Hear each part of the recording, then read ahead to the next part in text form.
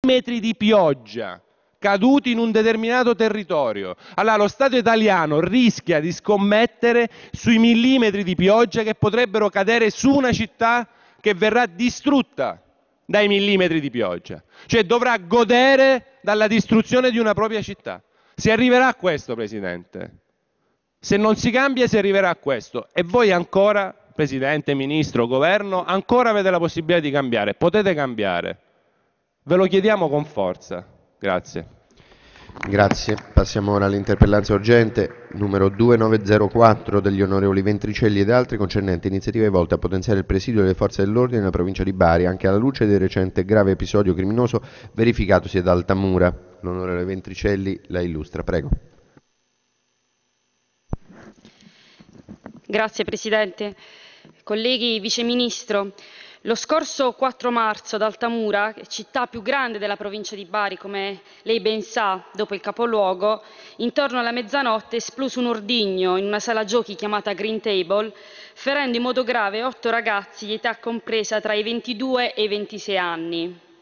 Uno dei ragazzi è tuttora ricoverato dopo un intervento per l'asportazione di schegge di ferro dal cranio e lotta tra la vita e la morte. Un altro è stato sottoposto ad un intervento chirurgico per estrarre schegge dalla milza. Un terzo ragazzo ha riportato una contusione polmonare con una prognosi di 30 giorni. La quarta vittima dell'attentato recava schegge nel braccio e a livello osseo, è stato operato e anche la sua prognosi di 30 giorni. La quinta ha riportato una frattura scomposta e frammentata della mandibola, con una vasta ferita a livello della guancia. Nonostante le indagini, non si conoscono ancora le esatte dinamiche degli accadimenti e i moventi del vile atto. Questo però, Vice Ministro, è solo il più eclatante, ma non l'ultimo tra gli episodi criminali che stanno paralizzando la comunità altamurana, esausta rispetto al clima di terrore che si è ormai generato. Riassumendole quello che sta accadendo negli ultimi mesi, le riporto i dati che abbiamo raccolto anche grazie alla stampa locale. Decine di furti in aziende del territorio, in particolare rame e automezzi. Una trentina di rapine in stazioni carburanti, istituti bancari e supermercati. Due nella sola giornata di sabato scorso e l'ultima ieri sera. Esplosione di tre bombe carta all'esterno di abitazioni ed esercizi commerciali. Tre incendi ai danni di auto. Scritte intimidatorie a giornalisti locali. Arresti per detenzioni di armi e droga. Inoltre, dall'uccisione del boss Bartolo D'Ambrosio, avvenuta nel 6 settembre 2010, si sono susseguiti casi legati alla malavita e alle faide locali. In particolare, un agguato al fratello del boss, ucciso alle ore 15 in pieno centro. Un omicidio di un 29enne sorvegliato speciale nella sua abitazione.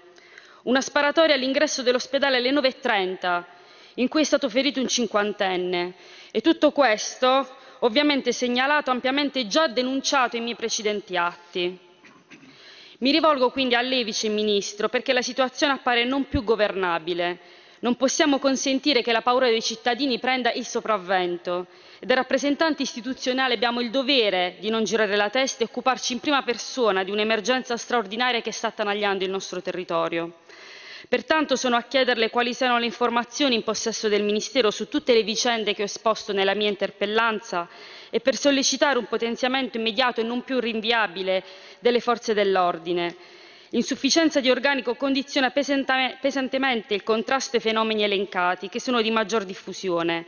Inoltre la mancanza di unità non permette di presidiare efficacemente tutto il territorio altamurano che voglio ricordare è il tredicesimo comune in Italia per estensione con oltre 70.000 abitanti. Grazie. La ringrazio. A questo punto il Vice Ministro degli Interni Filippo Bubbico ha facoltà di rispondere. Prego. Sì, grazie signor Presidente. Il tema evidenziato dall'onorevole Ventricelli e da altri eh, onorevoli interroganti quello cioè della sicurezza pubblica nel comune di Altamura e più in generale nella provincia di Bari, teatro negli ultimi due anni di una serie di episodi criminosi, è oggetto della massima attenzione della Prefettura di Bari e delle forze di polizia, in quanto l'area murgiana risulta effettivamente connotata dalla presenza di varie organizzazioni criminali. In particolare, come già evidenziato da varie inchieste giudiziarie, i sodalizi locali hanno subito nel tempo la contaminazione di gruppi malavitosi provenienti da altri contesti territoriali, evolvendo verso forme organizzative spesso caratterizzate dalle connotazioni tipiche delle associazioni mafiose. Non di meno, nel territorio altamurano la criminalità organizzata ha subito una disarticolazione degli assetti organizzativi conseguente all'incisiva azione di contrasto delle forze di polizia, soprattutto nei confronti degli esponenti di spicco che sono attualmente detenuti. Anche per questo motivo si è registrato un uso più frequente della violenza da parte degli elementi emergenti, i quali intendono in tal modo affermare il proprio predominio piuttosto che ricorrere ad intese di lungo periodo. La notte del 5 marzo scorso, nei pressi della vetrata esterna della, della sala giochi Bar Green, ubicata ad Altamura, si è verificata l'esplosione di un ordigno rudimentale verosimilmente confezionato con una notevole quantità di polvere pirica.